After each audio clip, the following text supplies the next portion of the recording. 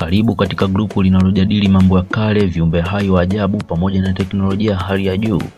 Tutainyambua miji ya kale iliyopata kutokea duniani, kila aina rekodi tutaiangazia hapa hapa. Kutana na darasa la hali ya juu. Wajua dunia yetu ina siri kubwa. Karibu tuiangazie dunia yetu kutokea ardhini walipoishi reptilia mpaka hapa tulipo sisi. Tutaangazia intelijensia ya hali ya juu kabisa, huku tukigusia maeneo ya siri ya nchi mbalimbali, hasa mashariki ya mbali kwa shilingi elfu mbili tu kwa mwezi. Karibu katika grupu la Discover World. Shilingi elfu mbili yako inatumika ili itusaidie sisi tukuletee historia hali ya juu, picha pamoja na maelezo, bila kusahau sauti. Mpangilio wetu ni mzuri sana, kila siku utapata rekodi nne katika grupu letu. Kwa maelezo zaidi, wasiliana nasi kwa SMS za WhatsApp 0758389940. Hii ni HMG.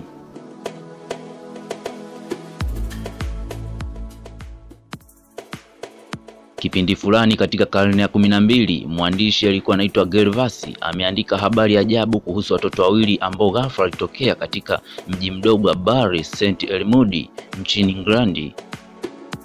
Habari hiyo pia imeripotiwa na waandishi kadhaa katika kipindi hicho na baadaye, ambao ni pamoja na William wa Newbury kwenye kitabu cha History Lenium Agriam.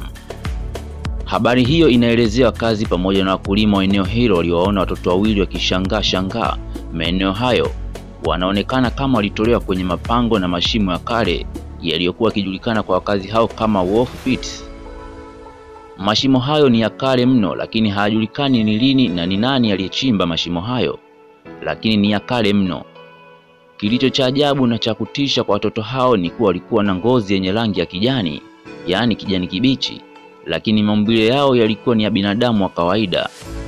Wakazi hao walijaribu kuzungumza na watoto hao, lakini ilikuwa ni vigumu kwa sababu watoto hao walikuwa wakizungumza lugha ambayo ni tofauti na ya wakazi hao. Watoto hao ni msichana na mvulana. Wanakijiji wakaamua kuwachukua na kuwapatia kila aina ya chakula walichokuwa nacho, lakini vyote vilionekana ni vigeni kwao. Hivyo hawakuvichukua muda, na hata baada ya muda mrefu wa kujaribu kujihifadhi katika mazingira mapya, mvulana alikufa na alibaki msichana ambaye baada ya kufahamu lugha ya wakazi wa pale akawaelezea hadithi ya wapi walipotoka na kaka yake. Alielezea kuwa katika dunia aliyotoka watu wake wana ngozi kama yake au kama aliyokuwa nayo, yaani ngozi ya kijani, kwani kadiri muda ulivyopita ngozi yake ya kijani ilikuwa ikipotea. Anasema kuwa nchi yao iko chini ya ardhi, ni kubwa mno, na kuna mto wa chini ya ardhi ambao nao pia ni mkubwa na unapakana na nchi nyingine inaong'ala. Anakumbuka siku moja yeye na kaka yake walipokuwa wanachunga wanyama wa chini ya ardhi na wakashika njia moja katika safari yao ndefu ambao ni kama ya masiku kadhaa, ingawa katika dunia yao hakuna kitu kinachoitwa mchana wala usiku. Njia iliwafikisha kwenye mfereji mrefu unaopanda juu ambao hatimaye uliwafikisha katika ulimwengu wetu ambao kilikuwa ni kitu cha kushangaza mno. Na baada ya kuzunguka kwa muda na kuanza kutafuta shimo walilotokea lakini hakuweza kuliona tena kutokana na mwanga mkali wa jua ambao haupatikani katika ulimwengu wao. Ndipo walipoona na wanakijiji hao. Ikiwa habari hii ni kweli kama walivyosema waandishi wa habari, basi watoto hao ni zao la mashetani na binadamu ambao wanakamata kwa ajili ya kutolewa kafara na kufanyiwa kazi chini ya ardhi. Kila mwaka nchini Uingereza kunaripotiwa kesi za watoto waliopotea zaidi ya laki nne. Marekani nako kesi hizo zinafikia 98,000 kila mwaka. Watoto hawa wanakwenda wapi? Jiulize, wanakwenda wapi hawa watoto kiasi hicho? Uwezekano wa kwamba jamii ya kale, kabila la mashetani linaloishi chini ya ardhi, si jambo geni wala jipya. Kabila hili lilijitokeza katika umbile la nyoka na mijusi tangu awali, lina uthibitisho kwenye mafundisho ya kiroho na kihistoria ya tangu enzi na enzi, na kwamba kabila hilo ni huru kama ambavyo tulivyo sisi binadamu na linaishi chini kabisa ya ardhi na baada ya manta. Huu ni ukanda unaotenganisha tabaka la juu la ardhi na tabaka la chini ambalo lina joto mno. Joto hilo halimwezeshi kiumbe yoyote mwenye maumbile kuweza kuishi eneo hilo. Hivyo mijusi hao, kama kweli ni mijusi na nyoka tunawafahamu, wasingeweza kuishi eneo hilo, lakini kwa sababu majini hawana maumbile na wameumbwa na moto, kwa wao hayo ni makazi yao ya kudumu. Neno serpenti ambalo Kiswahili lina maana nyoka au reptilia, neno hilo linatokana na neno nachashi ambalo kutokana na wafasiri wa lugha hasa ya Kiyahudi ambapo asili ya neno hilo lina maana ya reptilia.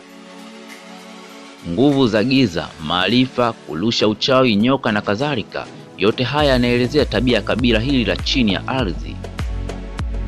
Maana ya asili na chashi ambalo India pia walilitumia, lakini haikuwa haswa ikimaanisha nyoka, ila bali linamaanisha kiumbe chenye akili na maarifa hali ya juu, mwenye uwezo wa kufikiri na kuzungumza pia.